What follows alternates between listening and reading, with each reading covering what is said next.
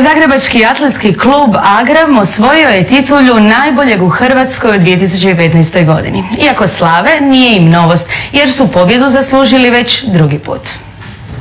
Od osnutka 2007. napornim i timskim radom klub Agram okuplja najbolje kadrove domaće, ali i svjetske atletike. Jednostavno zato što ljudi u klubu se stvarno trude za to i idemo na te kupove i na ekipna i imamo dosta rekordera u klubu i dosta ljudi koji idu na svjetska europska prvenstva i mislim da je to zavrijedilo stvarno. I stvarno se brinu o tom klubu. Ove godine sam se plasirala na olimpijske igre u maratonu. Na svom prvom maratonu istrčala sam u Zagrebu 2 sata 44 minute i 55 sekundi, a norma je 2.45. Da bi postigao dobre rezultate od ranog kišnog jutra trenira i 13-godišnji atletičar koji je nedavno u ovaj klub stigao iz Splita. Mislim da je jako dobar klub, jedan od najboljih u Hrvatskoj, čak i najbolji i, i to je bio jedan od razloga zašto sam se upisao.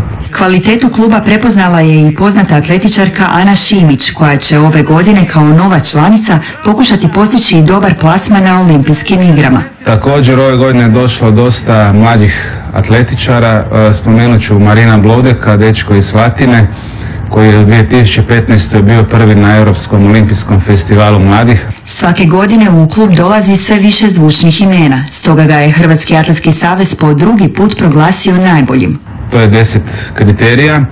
Mi smo u nekoliko kriterija na prvom mjestu, u ostalim kriterijima smo vrlo visoko pozicionirani, pa kad to sve zbrojite zajedno dobijete jedan dobar rezultat. Rezultat je više nego odličan, gotovo 150 tisuća osvojenih bodova. Slijede ga klubovi Dinamo Zrinjevac, Zagreb Ulix, Mladost Sloboda i ostali.